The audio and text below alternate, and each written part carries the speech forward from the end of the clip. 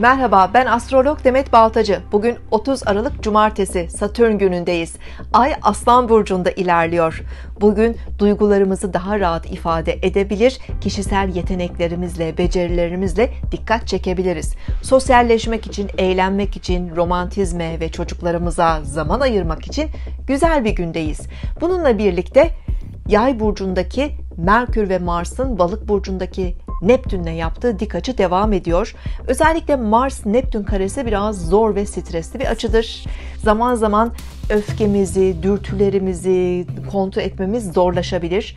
E, gerek bedensel gerek ruhsal anlamda işte bağışıklık sistemimizle ilgili e, bazı sağlık sorunları kendini gösterebilir. Alerjilere ve zehirlenmelere özellikle dikkat etmekte fayda var. Kaza ve sakarlıklara karşı da mümkün olduğunca dikkatli adım atmalıyız. Bu etkileri özellikle değişken burçlar, ikizler, Başak, Yay ve Balıklar daha güçlü hissedebilir.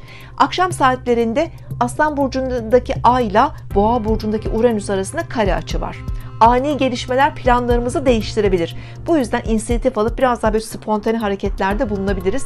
Sürprizler de olabilir akşam saatlerinde. Özellikle Boğa, Akrep, Kova burçları bu etkiyi daha güçlü hissedebilir.